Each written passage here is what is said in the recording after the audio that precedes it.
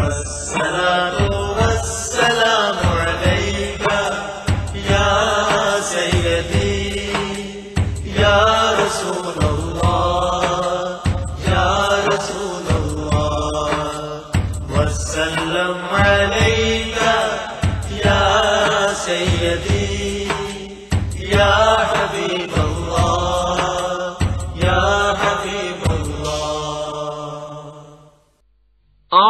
بالله من الشيطان الرجيم.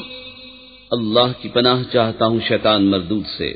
بسم الله الرحمن الرحيم اللہ کے نام سے شروع جو نہایت مہربان رحمت والا۔ ولا تجعلوا الله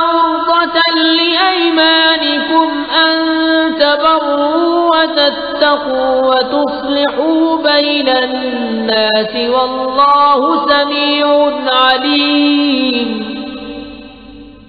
لا يؤاخذكم الله باللغو في أيمانكم ولكن يؤاخذكم بما كسبت قلوبكم. والله غفور للذين يؤلون من نسائهم تربص أربعة أشهر فإن فاءوا فإن الله غفور رحيم اور اللہ کو اپنی قسموں کا نشانہ نہ بنا لو کہ احسان اور پرہیزگاری اور لوگوں میں صلح کرنے کی قسم کر لو، اور اللہ سنتا جانتا ہے۔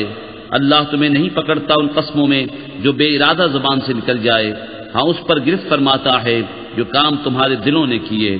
اور اللہ بخشنے والا ہن والا ہے۔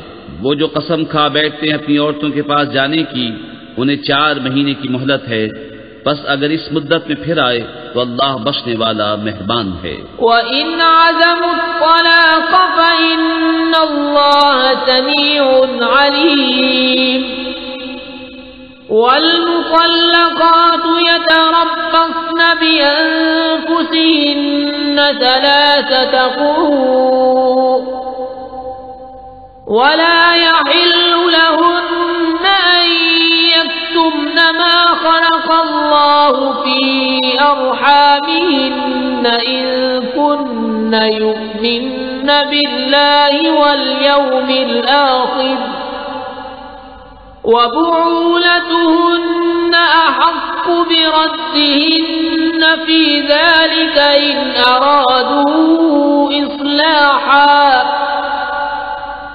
ولهن مثل الذي عليهن بالمعروف وللرجال عليهن درجة. والله عزيز حكيم.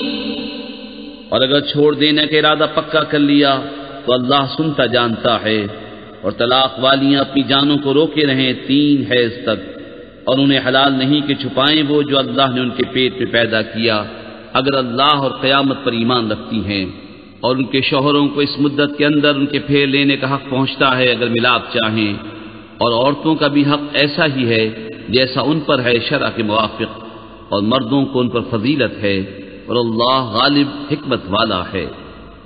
الطلاق مرتان فإمساكم بمعروف أو تسريح بإحسان. ولا يحل لكم أن تأخذوا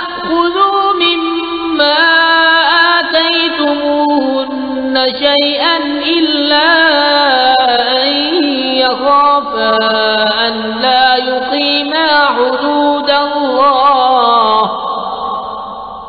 فإن خفتم ألا يقيما حدود الله فلا جناح عليهما فيما افتدت به. تلك حدود الله فلا تعتدوها. ومن يتعد حدود الله فأولئك هم الظالمون یہ طلاق دو بار تک ہے، پھر بھلائی کے ساتھ روک لینا ہے یا نکوئی کے ساتھ چھوڑ دینا ہے۔ اور تمہیں ربا نہیں کہ جو کچھ عورتوں کو دیا اس میں سے کچھ واپس لو۔ مگر جب دونوں کو اندیشہ ہو کہ اللہ کی حدیں قائم نہ کریں گے، پھر اگر تمہیں خوف ہو کہ وہ دونوں ٹھیک انہی حدوں پر نہ رہیں گے تو ان پر کچھ گناہ نہیں، اس میں جو بدلہ دے کر عورت چھٹی لے، یہ اللہ کی حدیں ہیں، ان سے آگے نہ بڑھو۔ اور جو اللہ کی حدوں سے آگے بڑھے، تو وہی لوگ۔ صدق اللہ العظیم۔